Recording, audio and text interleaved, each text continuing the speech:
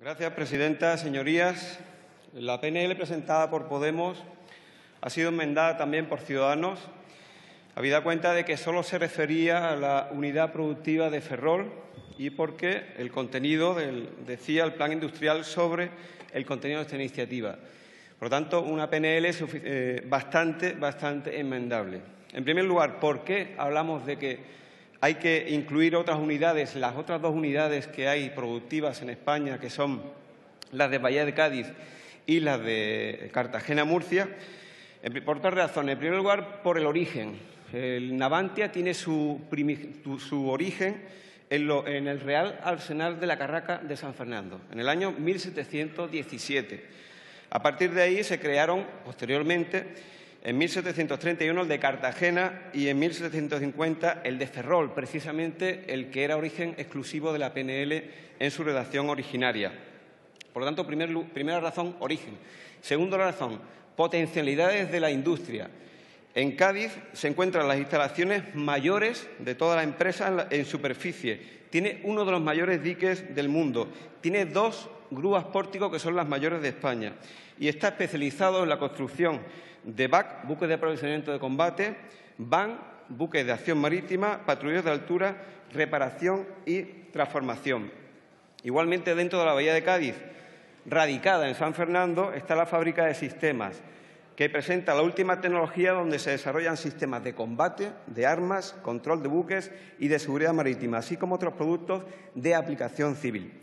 Finalmente, en Cartagena también está la especialización en construcción de submarinos y cazaminas, fábrica de motores y reparación.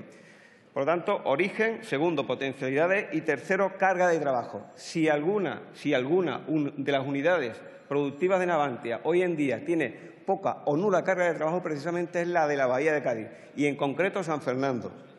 Y les cuento, en Ferrol se ha hecho un buque de apoyo a la plataforma.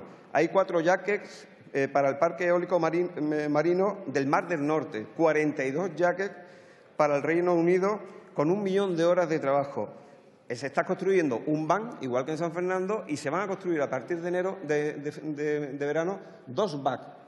Cada BAC equivale casi a dos buques de, acción marítima. Sin embargo, en San Fernando se está construyendo única y exclusivamente un BAN, buque de acción marítima, que se va a votar el 30 de este mes. Y a partir de ahí, cero patatero. No hay carga de trabajo en San Fernando. Hasta, tal punto es así que en la Bahía de Cádiz se ha creado, lleva durante mucho tiempo, una plataforma cívica que ha elaborado 133, mm, 123 medidas eh, en las que ha participado precisamente Podemos. Por eso llama la atención cómo la iniciativa en su redacción originaria no contemplara a la Bahía de Cádiz. Y yo me pregunto, señora Díaz, ¿usted le ha explicado a la diputada de Unidos Podemos por la provincia de Cádiz, Noelia Vera, que su iniciativa no contemplaba a la Bahía de Cádiz? Señora Vera, ¿usted le ha explicado a los colectivos de desempleados de Cádiz que la PNL de, Unidos Podemos se olvidó de Navantia en la Bahía de Cádiz? En general, señores de Unidos Podemos, sus compañeros de las corporaciones locales en la Bahía de Cádiz saben que no es una prioridad de su partido aquí en Madrid luchar por reducir los niveles de desempleo en Cádiz, que son los mayores de todo el país, afortunadamente, afortunadamente para ustedes, ciudadanos, les va a salvar la cara con la enmienda y con la presión que se ha hecho este fin de semana. Hablábamos, hablamos en primer lugar de que hacía falta incluir a las dos unidades productivas y en segundo lugar del contenido. ¿Qué pedimos nosotros en nuestra enmienda? Pedimos impulsar un plan estratégico para toda la, compañía de Navantia, no solo para Ferrol.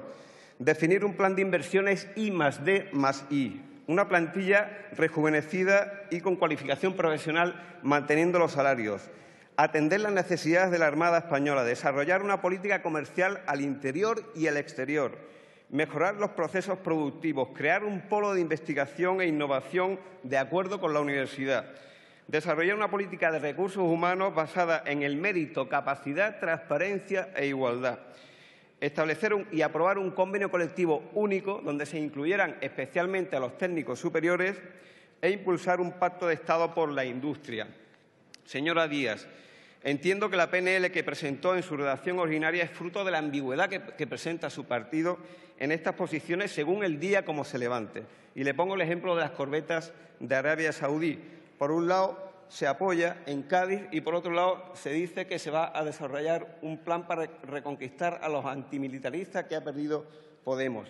Y en cuanto a Navantia, hace unos días estuvimos en la puerta de Navantia, en la sede, apoyando y respaldando a los trabajadores y a renglón seguido Podemos o, las confluencias de Podemos desarrollan una manifestación en las puertas de una industria que es la de OMSET.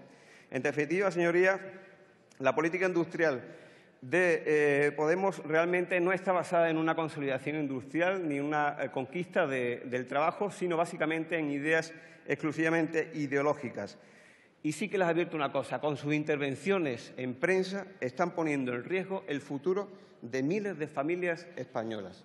Por eso le digo, ya concluyo, señora presidenta, que, señora Díaz, bienvenido, bienvenido a la sensatez, a la cordialidad y a la unidad.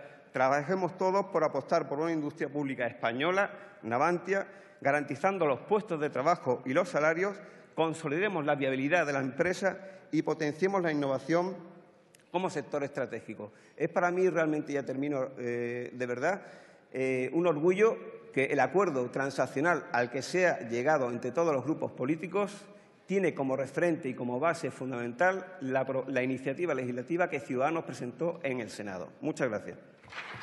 Muchas gracias, señor Cano Leal.